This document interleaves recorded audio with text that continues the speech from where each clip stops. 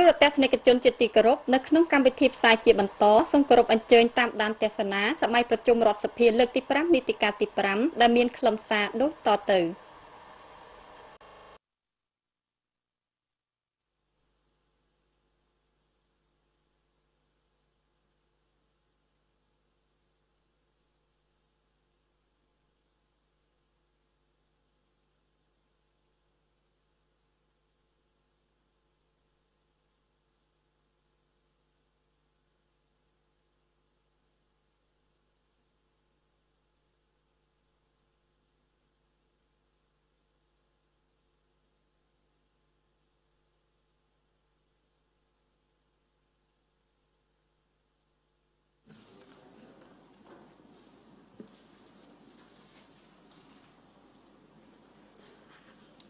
សូមគោរពឯកឧត្តមបណ្ឌិតអនុប្រធានទី2រដ្ឋសភាសម្ដេចឯកឧត្តមលោកជំទាវតំណាងរាស្ត្រដែលមានវត្តមាននៅពេលនេះ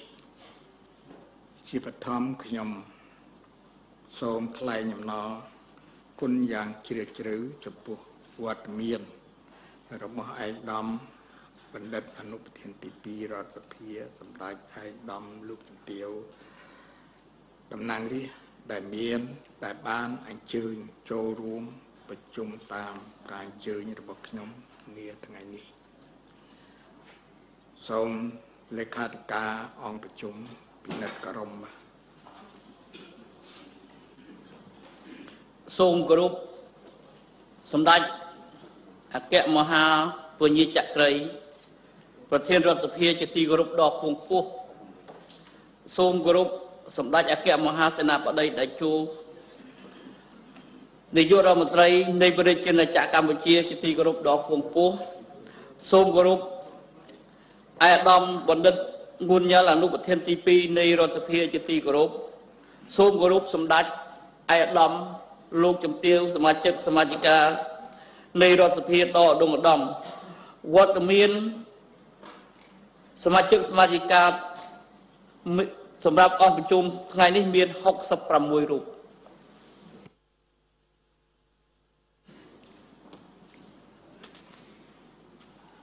ខ្ញុំសូមជម្រាបជូនអង្គសភាថាយោងតាមការសម្រេចរបស់គណៈកម្មាធិការចន្ទ្រៃរដ្ឋសភាដែលប្រជុំកាលពីថ្ងៃច័ន្ទទី16ខែវិច្ឆិកាឆ្នាំ2000 15និងថ្ងៃច័ន្ទទី23ខែវិច្ឆិកាឆ្នាំ2015អង្គសភាមានរបៀបវរៈចំនួន3ដែលត្រូវធ្វើការអនុម័តគឺរបៀបវរៈទី11ការពិភាក្សានិងអនុម័តសេចក្តីព្រៀងច្បាប់ស្តីពីហិរញ្ញវត្ថុសម្រាប់ការគ្រប់គ្រងឆ្នាំ2016 របៀបវរៈទី12ការពិភាក្សានិងអនុម័តសេចក្តីព្រាងច្បាប់ស្តីពីទិដ្ឋិនិងរបៀបវិរៈទី13ការពិភាក្សានិងអនុម័តសេចក្តីព្រៀងច្បាប់ស្តីពីទុរគមនាគមន៍ជាសូមអង្គសភាអនុម័តរបៀបវិរៈរបស់សម័យប្រជុំរដ្ឋសភាខាងលើនេះសូមអនុម័តបាទ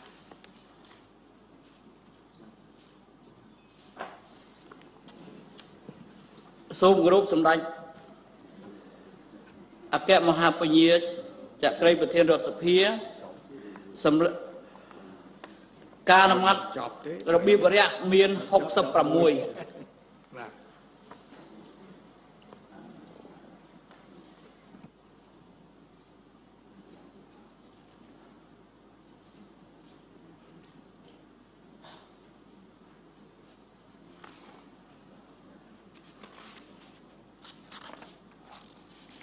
ចុចចូលទៅវាវរៈទី11ការពិភាក្សានិងអនុម័តសេចក្តីព្រៀងច្បាប់ស្តីពីរញ្ញវត្ថុសម្រាប់ការគ្រប់គ្រងឆ្នាំ2016យោងលិខិតលេខ932លោសកបចចុះថ្ងៃទី21ខែតុលាឆ្នាំ2015របស់រាជរដ្ឋាភិបាលកម្ពុជាយោងលិខិតលេខ 644រសចុះថ្ងៃទី26ខែតុលា ឆ្នាំ2015របស់រដ្ឋសភាយោងលិខិតលេខ092រសក215ចុះថ្ងៃទី11ខែវិច្ឆិកាឆ្នាំ2015របស់គណៈកម្មាធិការគណៈកម្មការសេដ្ឋកិច្ចហិរញ្ញវត្ថុធនាគារនិងសវនកម្មយោងតាម ការសម្រេចរបស់គណៈកម្មាធិការអចិន្ត្រៃយ៍រដ្ឋសភាតែប្រជុំកាលពីថ្ងៃច័ន្ទទី16ខែវិច្ឆិកាឆ្នាំ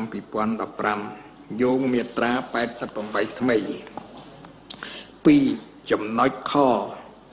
នៃរដ្ឋធម្មនុញ្ញដែលចែងជាអាតថាក៏រំលើសពីពាក់កណ្ដាលនៃចំនួនសមាជិករដ្ឋសភាទាំងមូលសម្រាប់ ការអនុម័តទាំងឡាយណាដែលតម្រូវឲ្យយកមតិភាគច្រើនដាច់ខាតនៃចំនួនសមាជិករដ្ឋសភាទាំងមូលយោងប្រកាស47ថ្មី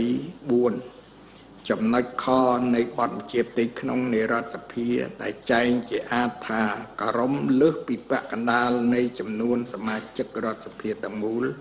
សម្រាប់ការអនុម័តទាំងឡាយណាដែលតម្រូវឲ្យយកមតិភាគច្រើនដោយព្រៀបឬដោយឬយកមតិភាគច្រើនដាច់ខាតនៃចំនួនសមាជិករដ្ឋសភាទាំងមូលសូមអញ្ជើញឯកឧត្តមបណ្ឌិតរដ្ឋជាយាបប្រធានគណៈកម្មការសេដ្ឋកិច្ចហិរញ្ញវត្ថុធនាគារនិងសវនកម្ម រាយការណ៍ជូនអង្គសភាអំពីការពិនិត្យនិងសិក្សាស្រាវជ្រាវលើសេចក្តីព្រៀងច្បាប់ស្តីពីអរញ្ញវត្ថុសម្រាប់ការគ្រប់គ្រងឆ្នាំ2016សូមអញ្ជើញបាទ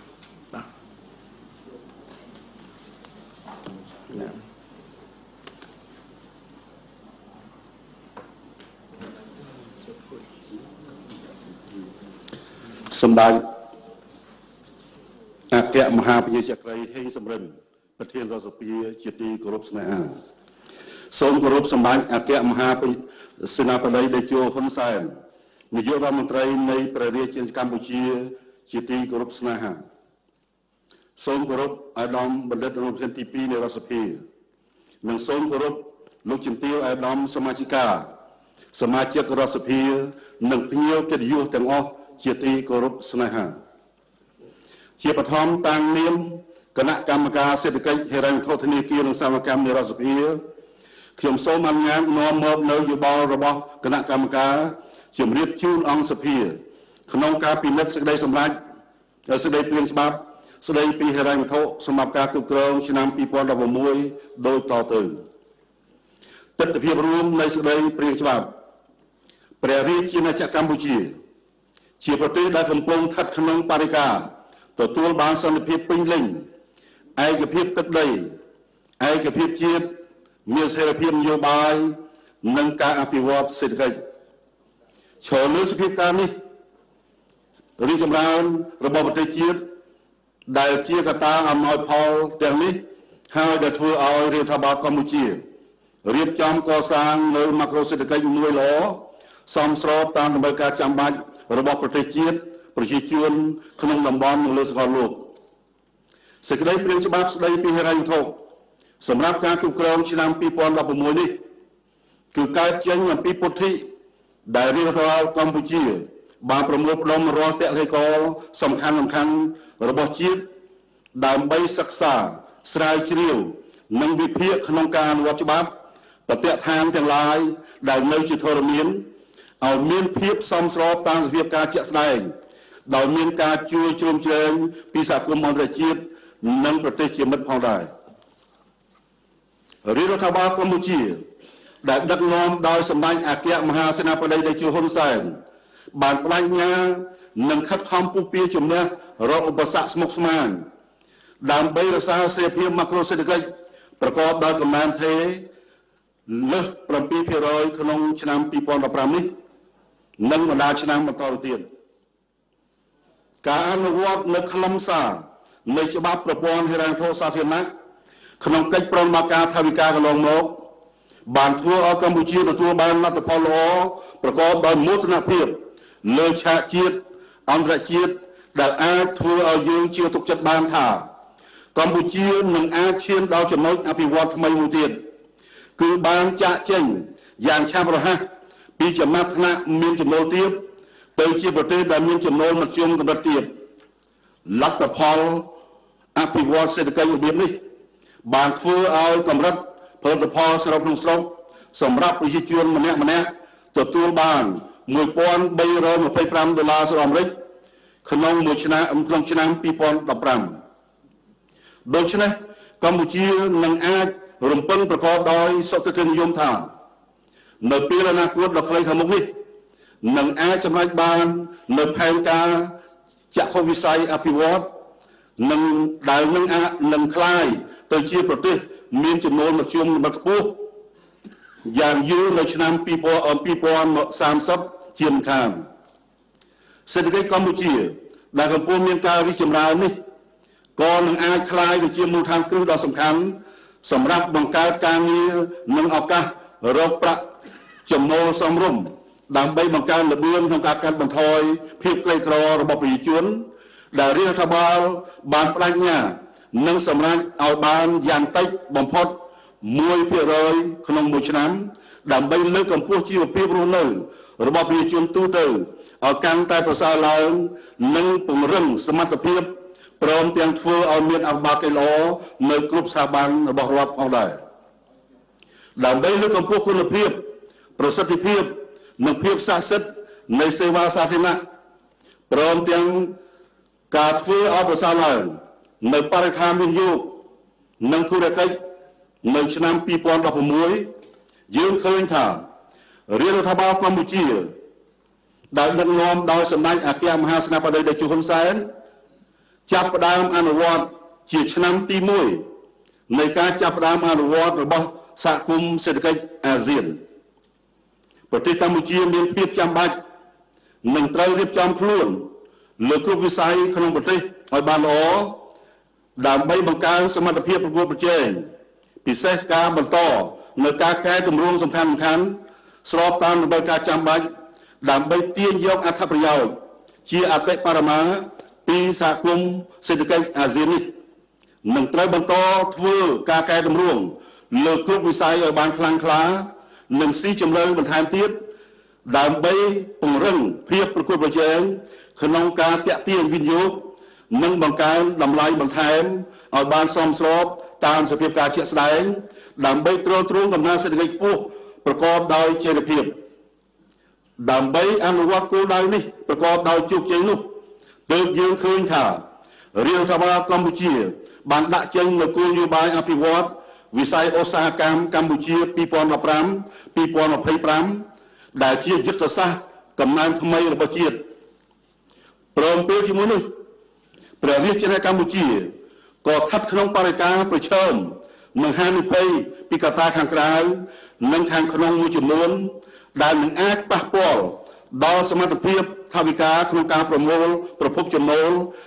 អាចនឹងមានការធ្លាក់ចុះជាងការរំពឹងទុក កត្តាទាំងនោះរួមមាន1កំណើនសេដ្ឋកិច្ចអឺរ៉ុបនៅទួនខ្សោយអាចប៉ះពាល់ដល់ការនាំចេញផលិតផលវិញ្ញាណភ័ណ្ឌនិងអង្គនិងប៉ះពាល់ដល់វិស័យទេសចរពីសហគមន៍អឺរ៉ុបមកកម្ពុជា2ការថមថយសេដ្ឋកិច្ចចិនដែលជាមហាអំណាចសេដ្ឋកិច្ចទី2ក៏នឹងអាចជះឥទ្ធិពលមិនល្អលើសេដ្ឋកិច្ចកម្ពុជាផងដែរដែលអាចប៉ះពាល់លើលំហូរវិនិយោគផ្ទាល់ពីចិន ការនាំចេញកសិផលដ៏សំខាន់របស់កម្ពុជា និងភាពជាដៃគូអភិវឌ្ឍដែលបានផ្ដល់នូវប្រភពហិរញ្ញប្បទានធំជាងគេដល់កម្ពុជាព្រមទាំងជាប្រភពទេសចររបស់កម្ពុជាផងដែរ3ការបង្កបង្កើនផលស្រូវនៅរដូវវស្សានិងរដូវប្រាំងនឹងទទួលបាននឹងទទួលរងផលប៉ះពាល់ដោយសារភ្លៀងធ្លាក់តិចពីដើមរដូវ និងទឹកទន្លេមានកម្រិតទាបក៏អាចប៉ះពាល់ដល់ផលិតផលនេសាទកម្ពុជាផងដែរ4ការកើនឡើងនៅសមត្ថភាពប្រកួតប្រជែងរបស់ប្រទេសជិតខាងក្នុងតំបន់និងលើវិស័យវិញ្ញាណភ័ណ្ឌក្នុងពិភពលោកដែលនាំឲ្យចំណែកទីផ្សារនៃផលិតផលវីណាភ័ណ្ឌកម្ពុជា មាននិន្នាការធ្លាក់ចុះទន្ទឹមនឹងប្រាក់ដុល្លារឡើងថ្លៃក៏ជាកត្តាអាចធ្វើឲ្យប៉ះពាល់ ដល់ការប្រកួតប្រជែងរបស់កម្ពុជាក្នុងការនាំចេញជាពិសេសទៅកាន់ទីផ្សារអឺរ៉ុបនិងអាមេរិកផងដែរ5លទ្ធភាពនៃការកើនឡើងមានឡើងនៅពពុះសម្បូរក្នុងវិស័យអចលនទ្រព្យនិងហានិភ័យក្នុងវិស័យមីក្រូហិរញ្ញវត្ថុជាកត្តានាំឲ្យប៉ះពាល់ដល់ថវិកាជាតិផងដែរក្នុងទិសដៅនេះហើយដែលទាមទាររដ្ឋបាល នៃព្រះរាជាណាចក្រកម្ពុជា បន្តការដាក់ចេញនៅយុទ្ធសាស្ត្រចតុកោណដំណាក់កាលទី3ដើម្បីកំណើនការងារសមធម៌និងប្រសិទ្ធភាព ដែលជារបៀបវរៈគោលនយោបាយសង្គមសេដ្ឋកិច្ចនៃកម្មវិធីនយោបាយបរិយាបាលនីតិកាលទី5នៃរដ្ឋសភាសម្រាប់ការឈានទៅសម្រេចឲ្យបាននៅគោលនយោបាយដែលជាមូលដ្ឋានគ្រឹះដ៏រឹងមាំសម្រាប់ជំរុញកំណើនសេដ្ឋកិច្ចប្រកបដោយចីរភាព និងការកាត់បន្ថយភាពក្រីក្ររបស់ប្រជាជនសម្រាប់រយៈពេលមធ្យមនិងវែងទៅពេលខាងមុខអំពីការពិនិត្យសេចក្តីព្រាងច្បាប់ស្តីពីហិរញ្ញវត្ថុសម្រាប់ការគ្រប់គ្រងឆ្នាំ2016មូលដ្ឋានកតិយុត្តគណៈកម្មការសេដ្ឋកិច្ចហិរញ្ញវត្ថុធនាគារនិងសកម្មកម្មរដ្ឋសភាក្រោយពីបានទទួលសេចក្តីព្រាងច្បាប់ស្តីពីហិរញ្ញវត្ថុសម្រាប់ការគ្រប់គ្រងឆ្នាំ2016ពីគណៈកម្មាធិការអចិន្ត្រៃយ៍នៃរដ្ឋសភា មកពិនិត្យសិក្សាយ៉ាងល្អិតល្អន់តាមរយៈការរៀបចំសិក្ខាសាលា ដើម្បីស្វែងយល់ពីការកសាងក្របខ័ណ្ឌម៉ាក្រូសេដ្ឋកិច្ចក្នុងការរៀបចំសេចក្តីព្រាងច្បាប់ស្តីពីរញ្ញវត្ថុសម្រាប់ការគ្រប់គ្រងឆ្នាំ2016កាលពីថ្ងៃទី19ខែឧសភា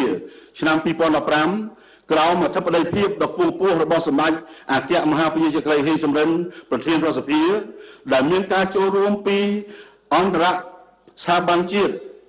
អាជ្ញាធរសង្គមជាតិសមាជិកសមាជិកាប្រសិទ្ធិរដ្ឋសភាក្រសួងសេដ្ឋកិច្ចនិងហិរញ្ញវត្ថុ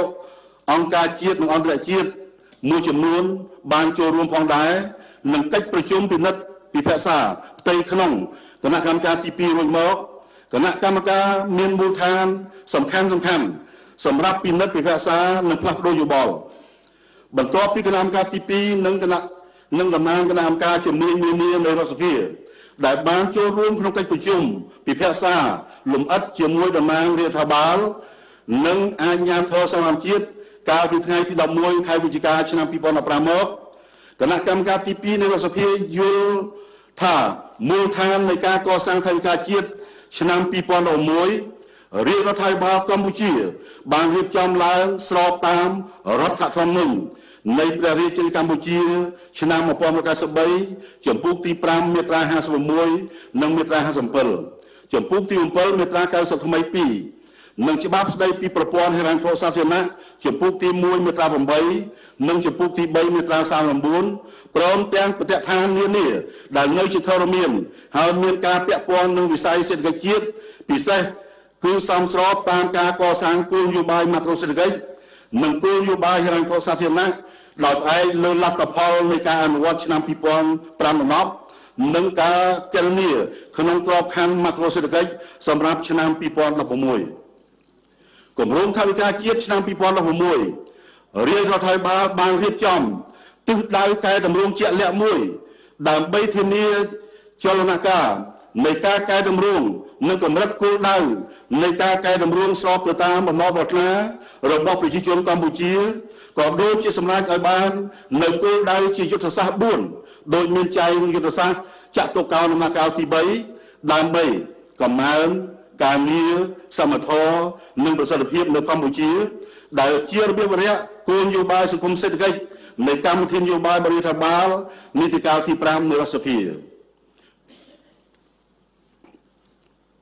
ធានាឲ្យបានកំណើនសេដ្ឋកិច្ចក្នុងអត្រាមធ្យម ប្រចាំឆ្នាំប្រមាណ7%ប្រកបដោយចីរភាព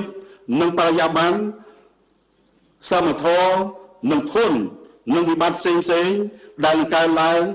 បង្កើតការងារឲ្យបានកាន់តែច្រើនឡើងនៅក្នុងជូនប្រជាជន ជាពិសេសសម្រាប់ស្ទាប់យុវជន តាមរយៈការវិនិយោគសម្រាប់ឲ្យបាននៅគោលដៅនៃការកាត់បន្ថយភាពក្រីក្រ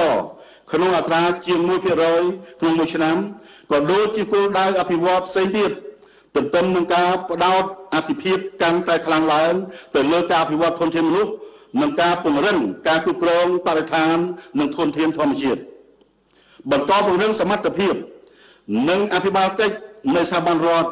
សម្ដៅបម្រើប្រជាជនឲ្យកាន់តែប្រសើរឡើងបន្តផ្ដោតយកការចិត្តទុកដាក់លើវិស័យអធិភាព4ដែលមានដូចខាងក្រោម ការអភិវឌ្ឍធនធានមនុស្សនិងការបណ្ដុះបណ្ដាលបច្ចេកទេសវិជ្ជាជីវៈដោយផ្ដោតជាពិសេសលើយុវជនការបន្តវិនិយោគលើហេដ្ឋារចនាសម្ព័ន្ធរូបវន្តនិងការកែលម្អថែមទៀតនៅកិច្ចសម្រួលពាណិជ្ជកម្មដើម្បីបង្កើនការតាក់ទាញនិងភាពប្រកួតប្រជែងរបស់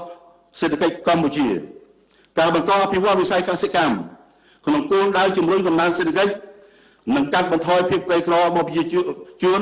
ព្រមទាំងជំរុញការអភិវឌ្ឍសេដ្ឋកិច្ចជនបទតាមរយៈការបង្កើនផលិតភាព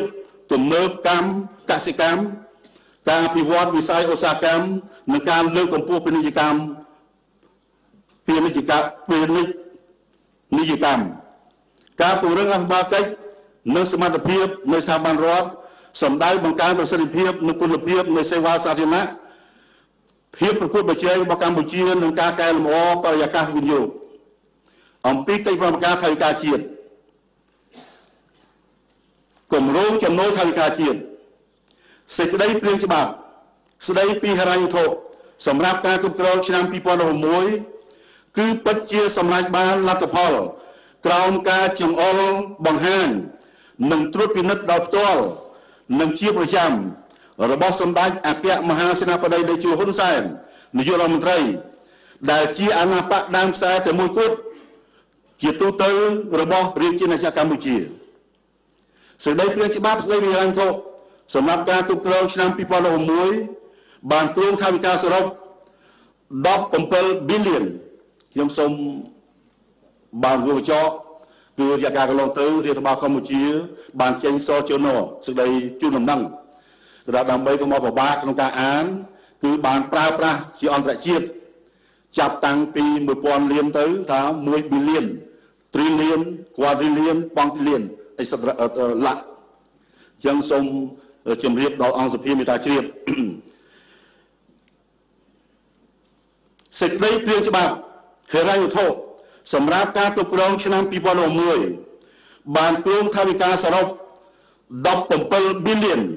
602.477លានរៀលក្នុងនោះរាជរដ្ឋាភិបាលនឹងត្រូវសម្រេចក្របខ័ណ្ឌចំណូលសរុបក្នុងប្រទេសឲ្យបានសម្រេច4.10 billion 359,369លានរៀល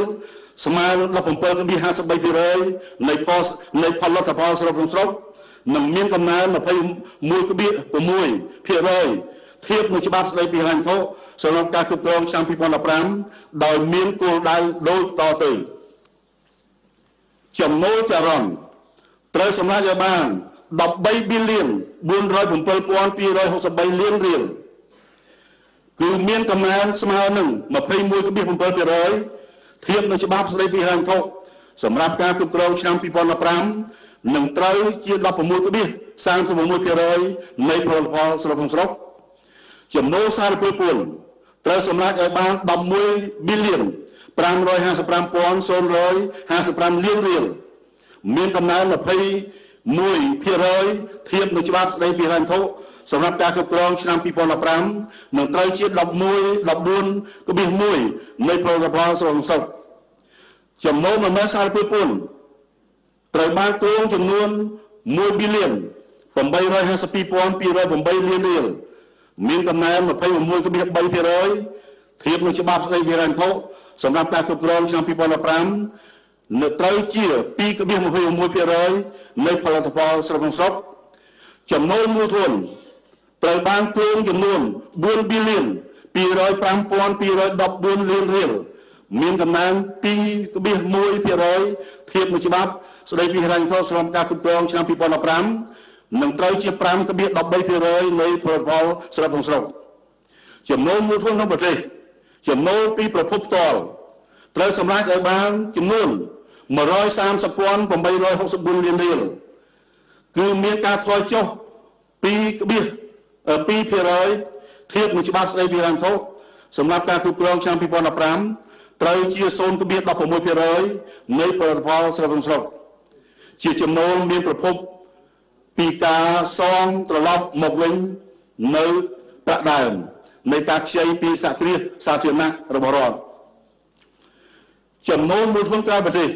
ត្រូវសម្រេចឲ្យបានចំនួន4ប៊ីលាន074,350លានរៀលមានកំណើន2.2%ធៀបនឹងច្បាប់ស្តីពីហិរញ្ញវត្ថុ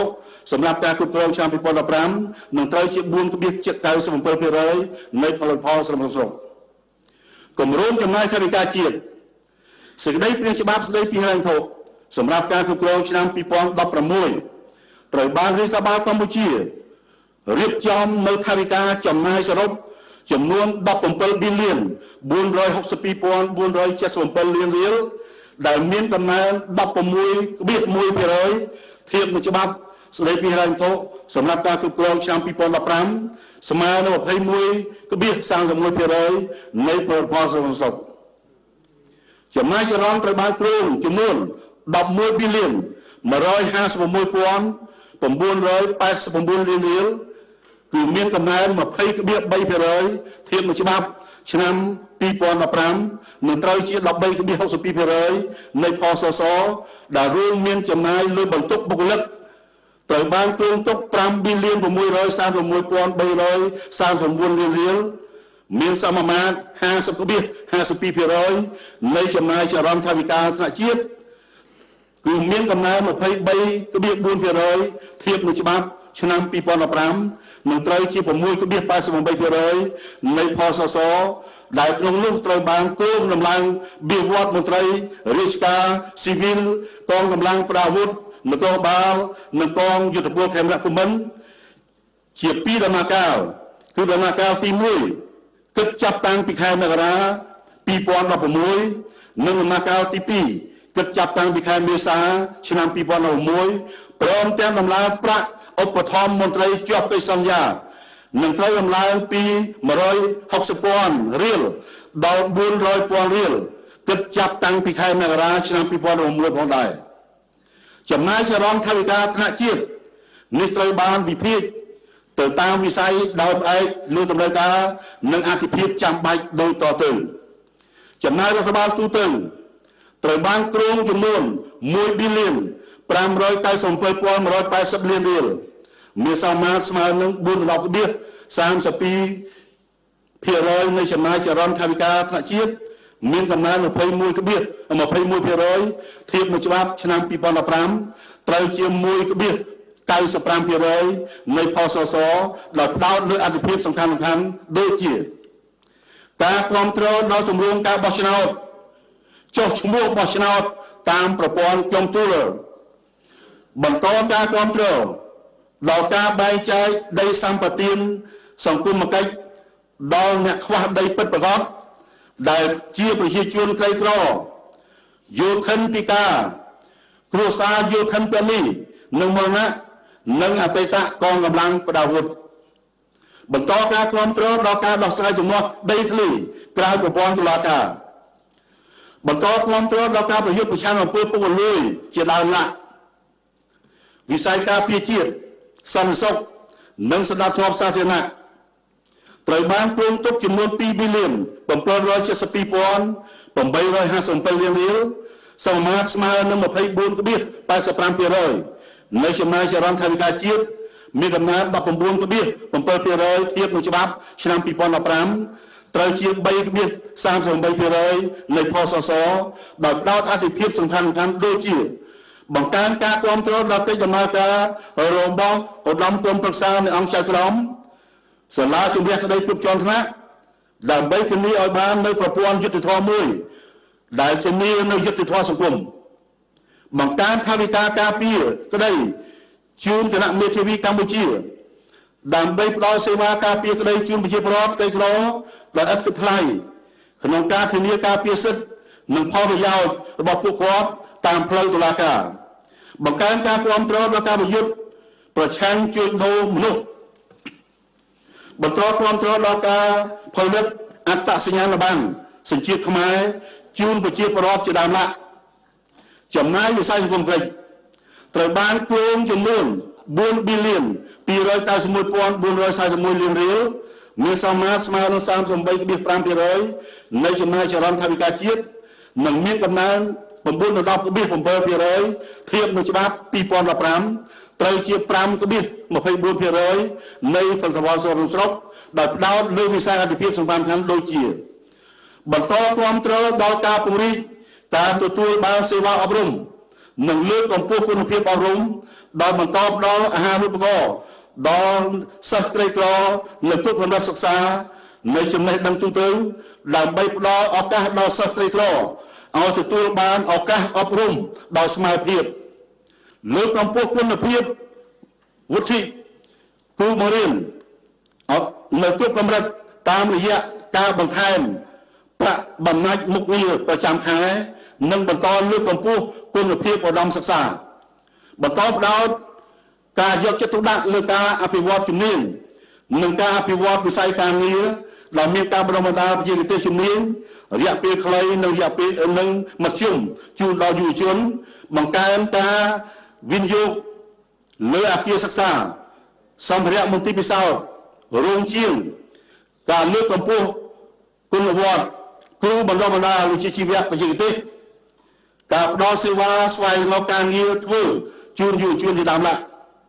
បន្តលើកកម្ពស់គុណភាពសេវាសុខាភិបាលនិងពង្រីកការទទួលសេវាសុខាភិបាលជាពិសេសសម្រាប់ប្រជាជនក្រីក្រជាដើមឡើយចំណាយវិស័យសេដ្ឋកិច្ច ត្រូវបានគ្រោងចំនួន1ប៊ីលៀន154,557លានរៀលសមមាត្រស្មើនឹង10.35%នៃចំណាយថវិកាចរន្តថ្នាក់ជាតិមានកំណើន16.1%ធៀបនឹងច្បាប់ឆ្នាំ2014ត្រូវជា1.4%នៃផសសដោយផ្ដោតសំខាន់លើបន្តលើកកម្ពស់ផលិតភាពកសិកម្មពិសេសដំណាំស្រូវ ដោយឆ្លើយតបតម្រូវការទីផ្សារនិងបង្កើនការត្រៀមបំរុងពូជស្រូវសម្រាប់ពេលមានគ្រោះទឹកជំនន់និងគ្រោះរាំងស្ងួតធ្ងន់ធ្ងរជំរុញផលិតកម្មស្បៀង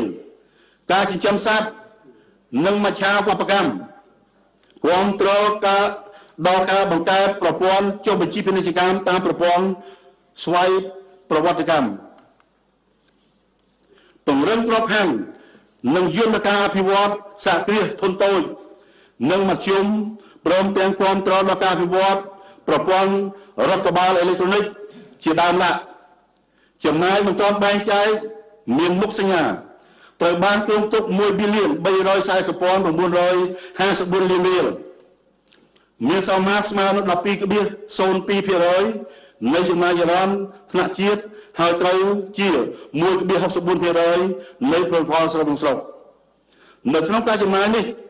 ត្រូវបានរដ្ឋបាលរៀបចំត្រៀមបំរុងសម្រាប់ការផ្ទេរ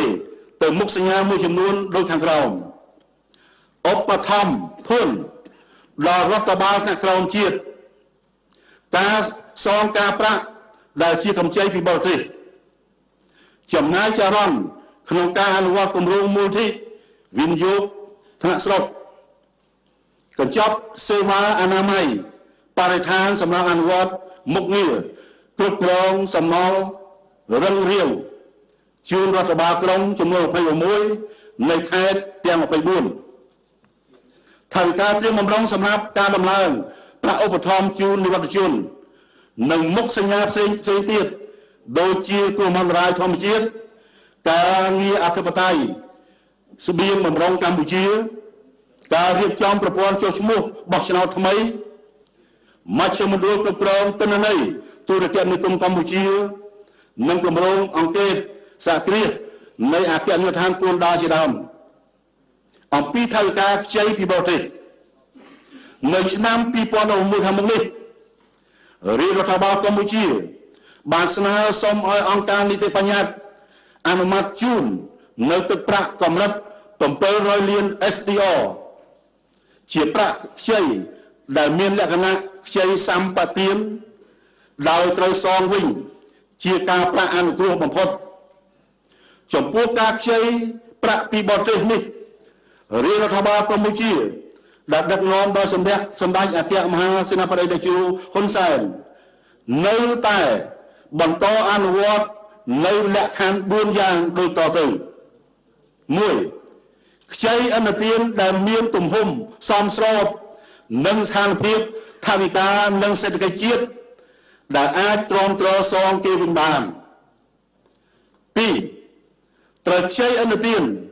ដែលមានកម្រិតសម្បទានខ្ពស់3ត្រូវខ្ចីអនុទានសម្រាប់តែវិស័យអតិភិបសម្ដៅទ្រទ្រង់ជីវភាពនៃកំណើន និងបង្កើនផលិតភាពសេដ្ឋកិច្ចនិង4ត្រូវប្រើប្រាស់អនុទានប្រកបដោយតម្លាភាពនិងមានប្រសិទ្ធភាពខ្ពស់បំផុតពិសេសអនុវត្តនៅគោលការណ៍អភិបាលកីឡសូមបញ្ជាក់ផងដែរថាការចំណាយលើការទូទាត់រំលោភបំណុលក្រៅប្រទេសសម្រាប់ឆ្នាំ2016មានចំនួន 509,138លានរៀលមានកំណើន16.6%ធៀបនឹងច្បាប់ឆ្នាំ2015នឹងត្រូវជា0.62%នៃផសសសេចក្តីសំខាន់ក្រោយពីបានពិនិត្យពិភាក្សាលម្អិតនៅសេចក្តីព្រាងច្បាប់ស្តីពីរញ្ញធរសម្រាប់ការគ្រប់គ្រងឆ្នាំ2016ជាមួយដំណើររដ្ឋបាលរួចមក គណៈកម្មការសេដ្ឋកិច្ចហិរញ្ញធនធានគិរសាកម្មនៃរដ្ឋសភាយល់ឃើញថាសេចក្តីព្រាងច្បាប់នេះ បានរៀបចំឡើងដោយគោរពតាមច្បាប់ និងលិខិតបទដ្ឋាន ដែលនៅជាធរមាននានាព្រមទាំងគោរពទៅតាមនីតិវិធីរដ្ឋបាល និងបច្ចេកទេសហិរញ្ញវត្ថុត្រឹមត្រូវស្របតាមកម្មវិធី និងគោលនយោបាយច្បាស់លាស់របស់រាជរដ្ឋាភិបាលកម្ពុជា ក្នុងការបន្តរក្សាស្ថិរភាពនយោបាយសន្តិសុខនិងសេនាធិសង្គមព្រមទាំងការបន្តលើកស្ទួយកិច្ចជាអនុភាពកម្ពុជាឲ្យកាន់តែខ្ពស់ត្រដែតនៅលើឆាកជាតិតំបន់និងអន្តរជាតិការពារបានដោយឥតរវាទនៅអធិបតេយ្យជាតិនិងពូណភាពទឹកដី ការបន្តពង្រឹងនិងពង្រីកការអនុវត្តលទ្ធិប្រជាធិបតេយ្យ ការពង្រឹងនីតិរដ្ឋការបន្តរក្សាឲ្យបាន នៅស្ថិរភាពម៉ាក្រូសេដ្ឋកិច្ចនិងកំណើនសេដ្ឋកិច្ចនិងធានាបាននូវភាពស័ក្តិសិទ្ធិនិងប្រសិទ្ធភាពខ្ពស់ក្នុងការគ្រប់គ្រងហេរញ្ញធម៌សាធារណៈដើម្បីសម្រេចបាននូវគោលដៅជាសារវ័ននៃការអភិវឌ្ឍសេដ្ឋកិច្ចនិងសង្គម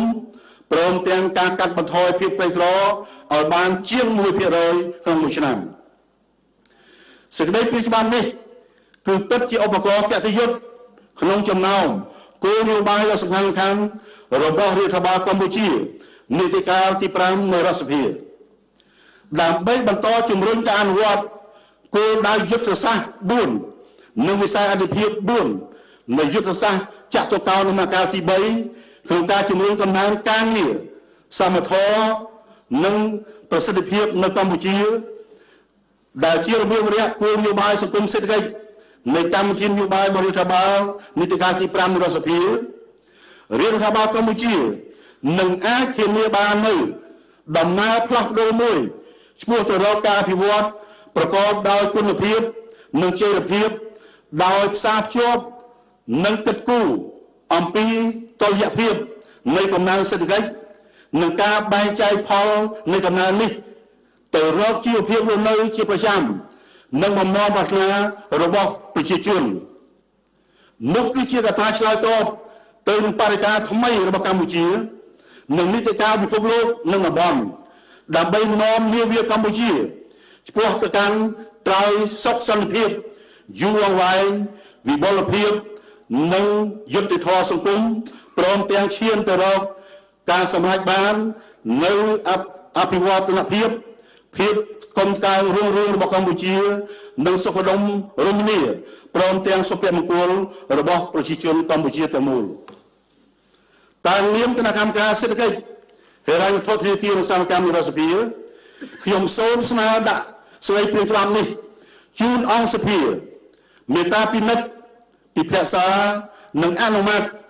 មួយចំពោះម្ដងមួយចំពោះម្ដង ស្របតាមប្រការ29ថ្មីនៃបទបញ្ជាផ្ទៃក្នុងរដ្ឋសភាដោយចាត់ទុកជាការប្រញាប់តាមការគួរសូមអរគុណ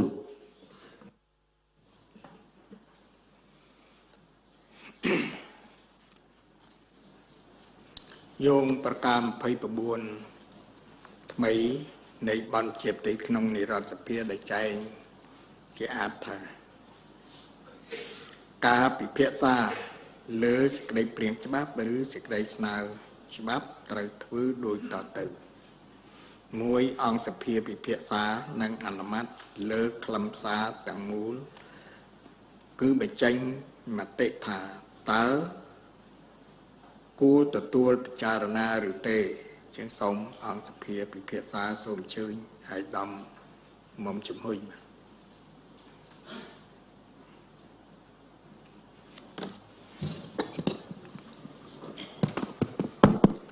បាទ ជាបឋមខ្ញុំបាទសូមគោរពស្ដេចប្រធានជាទីគោរពដល់ខ្ពង់ខ្ពស់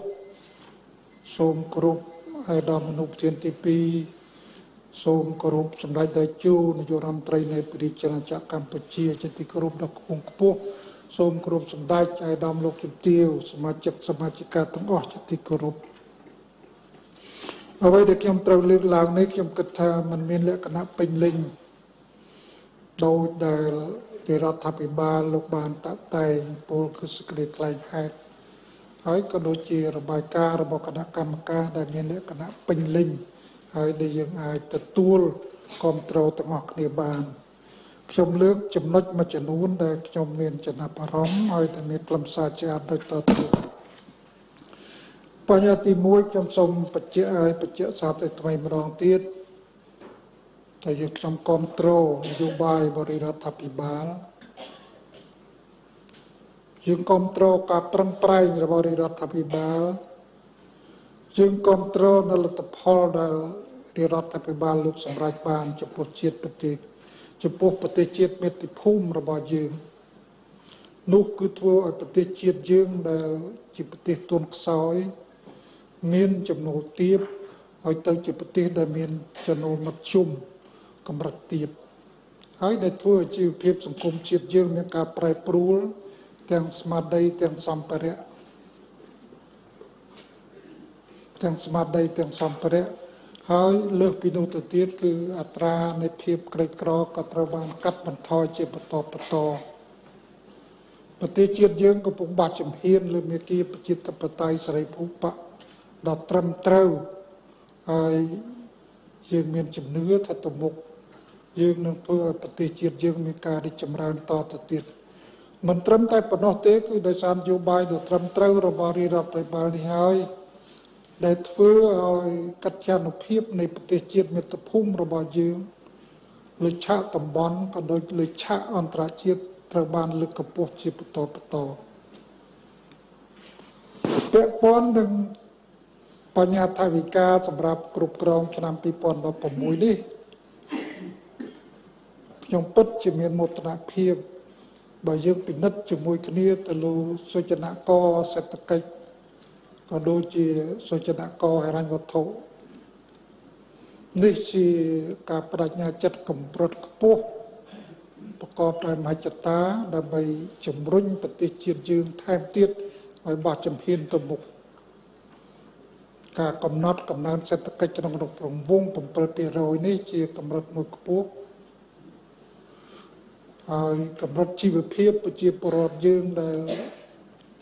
ចំណូលពីជាង1200ទៅ1300ជាងក្នុងមួយឆ្នាំនេះ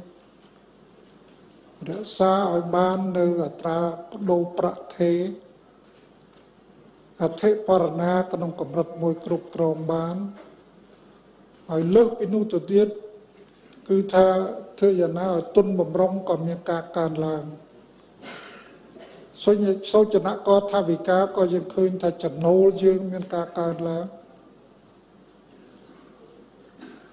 ទាំងចំណូលពន្ធដារមិនមែនពន្ធដារគឺមានការកើនឡើងហើយប្រការដែលល្អនោះគឺថាអនភាពថវិកាក៏ត្រូវបានកាត់បន្ថយដែរនេះជាការបដិញ្ញាចិត្តមួយ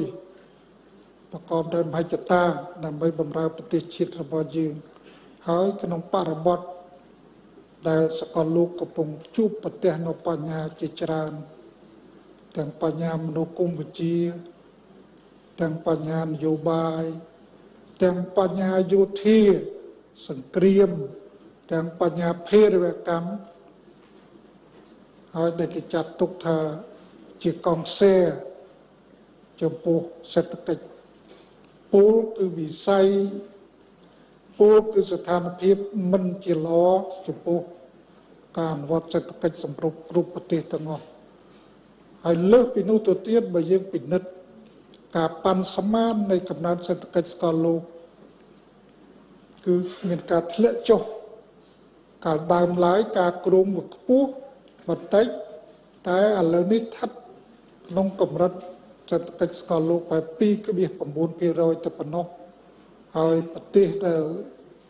គេហៅថា PML រងគឺថាក៏មានការទៅធ្លាក់ចុះវត្ថុធាតុដើមក៏មានការធ្លាក់ចុះធ្វើឲ្យប៉ះពាល់នៃប្រទេសដែលនាំចេញវត្ថុធាតុដើមតែវាមានលក្ខណៈអំណោយផលខ្លះដល់ប្រទេសដែលទិញវត្ថុទាំងអស់នោះអញ្ចឹងហើយសរុបសេចក្តីមកខ្ញុំឃើញថា ស្ថានភាពឬមួយបរិបត្តិសកលលោកនេះមិនជាអំណោយផលប្រមាណទេ គឺមានលក្ខណៈផុយស្រួយណាស់ត្រង់ហ្នឹងហើយដែលខ្ញុំសូមកោតសររាជរដ្ឋាភិបាល ដែលលោកកំណត់គោលដៅមួយប្រកបដោយមហិច្ឆតាហើយពិតជាមានការប្រាជ្ញាចិត្តកម្រិតខ្ពស់ពាក់ព័ន្ធនឹងចំណូលនិងចំណាយនេះ គឺរបាយការណ៍របស់គណៈកម្មការជំនាញរបស់ជារដ្ឋាភិបាលលោកបានបញ្ជាក់សពគ្រប់ហើយហើយលោកមានជាឯកសារដើម្បីបញ្យល់យើងទៅទៀតចឹងហើយខ្ញុំឃើញថាស្ទើរតែខ្ញុំមិនបាច់និយាយអីទៀតទេខ្ញុំគ្រាន់តែនិយាយខ្លីតែប៉ុណ្ណេះគឺថាមានកំណើនចំណូលក៏មានកំណើនហើយចំណាយគ្រប់វិស័យទាំងអស់ក៏មានកំណើនចំណុចនេះហើយដែលយើងចង់បាន ចំណូលមានកំណើនចំណាយមានកំណើនហើយអនុភាពថវិកាត្រូវបានសម្រុតចុះសម្រុតចុះចំណុចហ្នឹងហើយដែលយើងចង់បានកាលពីឆ្នាំ2015គឺអនុភាពថវិកាចំនួន5.19%ហើយមកដល់2016នេះយើងគ្រោងទៅធ្វើយ៉ាងណាសម្រុតចុះ ឲ្យមកនៅក្បួនពីក្បួន4ក្បៀស79%ពីព្រោះតាមនិយមគេខិតខំធ្វើយ៉ាងណាឲ្យស្ថិតនៅក្នុងរង្វង់3%ប៉ុន្តែបើពិនិត្យជាទូទៅកម្រប្រទេសដែលប្រទេសភាគច្រើនគឺនៅតែមានការលើសពី3%សូម្បីប្រទេសនៅសហគមន៍អឺរ៉ុបក្តីប្រទេសនានាក្តីក៏នៅតែមានកម្រិតខុសពីនិយមនឹងដែរ តិចណាស់ដែលធ្វើបានក្នុងរង្វង់3%ឬក្រោម3%នៃថាវិការជាតិចឹងហើយឃើញថាវាមានការកើនឡើងនេះជាចំណុចវិជ្ជមានហើយផ្នែកប្រមូលពន្ធដារយើងឃើញស្រាប់ហើយគឺថាចំណូលរបស់យើងគឺទាំងចំណូលសារពើពន្ធគយរដ្ឋកោពន្ធដារចំណូលមិនសារពើពន្ធក៏មានការកើនឡើងដែរក្នុងឆ្នាំ2015 គឺថាយើងមានតែ14.70%នៃពីបបានន័យថាផលិតផលសរុបក្នុងស្រុកមកដល់2016យើងគ្រោងឲ្យឡើងដល់16.30 16.36%នៃផលិតផលសរុបក្នុងស្រុកចឹងហើយនេះជាកំណើនមួយដែលយើងមានការអបអរសាទរពីព្រោះតាមដែលការខ្ញុំដឹងខ្ញុំស្វែងយល់គឺថាចំពោះចំណូល ក្នុងសកលលោកនេះគេចែកប្រទេសជាជា3ប្រភេទគឺប្រទេសទុនខ្សោយប្រទេសដែលមានការអភិវឌ្ឍមធ្យមហើយនិងប្រទេសជឿនលឿនចំពោះប្រទេសទុនខ្សោយគឺថាការដែលប្រមូលពន្ធដារវាស្ថិតនៅក្នុងរង្វង់រង្វង់ពី10ទៅ15%ទៅប៉ុណ្ណឹងទេហើយប្រទេសដែលវាឈានមកជំហានទៀតគឺថាអភិវឌ្ឍចន្លោះអាទុនខ្សោយហើយនៅប្រទេសមាន ពី15%ទៅ20%ហើយប្រទេសដែលជឿនលឿនខ្លាំងមែនតែនគឺគេឡើងពី30ទៅ50%ឧទាហរណ៍នៅជប៉ុននៅអាមេរិកអាមេរិកប្រហែលជា35ឬ40%នៅអឺរ៉ុបជាពិសេសអឺរ៉ុបអង់គ្លេសជាងគឺថាប្រហែលជា50%អញ្ចឹងវាវាវិវត្តទៅតាមសង្វាក់ហ្នឹងអញ្ចឹងគឺថាដូចជាខ្ញុំបញ្ជាក់ខាងដើមអញ្ចឹងប្រទេសយើងឈានពីប្រទេសក្រីក្រ មកប្រទេសដែលមានចំនួនមធ្យមកម្រិតទាបអញ្ចឹងវាត្រូវសំណុំរបស់វា គឺថាវាលើសពី15%ហ្នឹងហើយអញ្ចឹងហើយខ្ញុំឃើញថាជាការងារមួយដែលគួរឲ្យយើងមានមោទនភាពណាស់ការប្រឹងប្រែងដែលបានប្រព្រឹត្តកន្លងមកនេះហើយចំណុចខ្លះទៀតដែលខ្ញុំសូមលើកនោះគឺថាពាក់ព័ន្ធនឹងចំណាយក៏ចឹងដែរក្នុងវិស័យរដ្ឋបាលក៏ឃើញមានកំណើនច្បាស់លាស់ណាស់គឺតារាងបានបញ្ជាក់យ៉ាងច្បាស់វិស័យរដ្ឋបាលគឺថា ឡើងកើនឡើងគឺ1.95នៃផសសបើគិតជាចំណាយភាគរយនៃថវិកា14.32%កំណើនប្រៀបធៀបនឹងឆ្នាំ2015គឺទៅ21%ចំពោះវិស័យការពារជាតិសន្តិសុខនិងស្ដាប់ធ្នាប់ក៏ដូចនោះដែរកំណើនប្រៀបធៀបនឹងថវិកា2015 19.72%ហើយបើតំណាងបកិត តំណាងក្នុងថវិកាជាតិ24.85%មានកំណើនស្មើនឹង3.38%វិស័យសេដ្ឋកិច្ចក៏ដូចនោះវិស័យសង្គមកិច្ចក៏មានការកើនខ្លាំងជាងគេគឺថាពីសំទោវិស័យសង្គមកិច្ចគឺពី19.72% គឺថាឡើងដល់5.24%ចំណុចនេះខ្ញុំចង់បញ្ជាក់ដែរគឺថារដ្ឋាភិបាលយើងបានលោកបានចាត់ទុកវិស័យអត្ថភាពឬវិស័យអប់រំហើយនឹងវិស័យសុខាភិបាលហើយនឹងវិស័យផលិតកម្មខ្ញុំនិយាយវិស័យផលិតកម្មចុះពីព្រោះឧស្សាហកម្មកសិកម្មវានៅក្នុងក្នុងក្របខ័ណ្ឌវិស័យតែផលិតកម្មហ្នឹងចុះហើយខ្ញុំចង់ជម្រាបថាវិស័យនេះជាវិស័យអត្ថភាពជាបន្តបន្តហើយខ្ញុំ គ្រាន់តែបញ្ជាក់ជូនថាវិស័យនេះនៅតែបន្តជាអត្ថភាពទៀតព្រោះប្រទេសណាក៏ដោយប្រទេសណាដែរគឺថាសំខាន់គឺមនុស្សហ្នឹងហើយដែលធ្វើឲ្យបានសម្រេចនៅគោលនយោបាយរបស់រដ្ឋាភិបាលអាណត្តិទី5នេះគឺវិស័យអប់រំបណ្ដុះបណ្ដាលជាជីវៈជាអត្ថភាពវិស័យនីតិកាលខាងមុខទៀតក៏នៅតែជាអត្ថភាពដែរហើយខ្ញុំឃើញថាមានការខិតខំប្រឹងប្រែងហើយចំពោះដែល ជាស្តង់ដារខ្លះនៃចំណាយក្នុងវិស័យអប់រំនេះខ្ញុំក៏សូមលើកជូនដែរពីព្រោះយើងត្រូវកំណត់ទាំងអស់គ្នាកណ្ដាលការវិនិយោគក្នុងវិស័យអប់រំគឺជាការវិនិយោគសម្រាប់សង្គមជាតិទាំងមូលគេបានស្រាវជ្រាវឃើញច្បាស់ណាស់បើកាលណាវិស័យអប់រំនោះវាមានការរីកចម្រើននោះគឺថាចំណូលរបស់ប្រជាជនម្នាក់ម្នាក់ក៏មានការរីកចម្រើនហើយលើសពីនោះទៅទៀតទេបដូរគេបានបញ្ជាក់យ៉ាងច្បាស់ថាប្រទេសមួយដែលក្រីក្រ ហើយបើសិនណាគេដោះស្រាយបញ្ហាឲ្យនារីទាំងអស់បានរៀនចប់បឋមសិក្សានោះអត្រានៃកុមារដែលស្លាប់គឺត្រូវចុះចំនួន15%នេះជាលទ្ធផលនៃការស្រាវជ្រាវនៃ